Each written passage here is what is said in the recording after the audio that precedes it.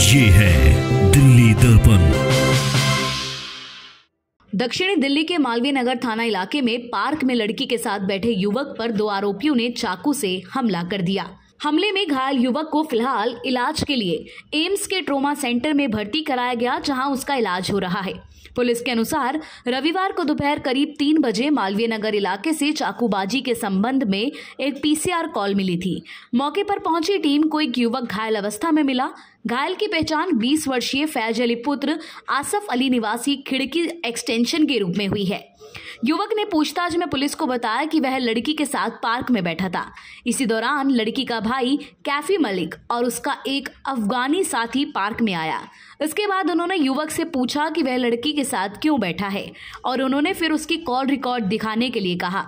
और उसका मोबाइल मांगा, जिस पर युवक मोबाइल देने से इनकार कर देता है।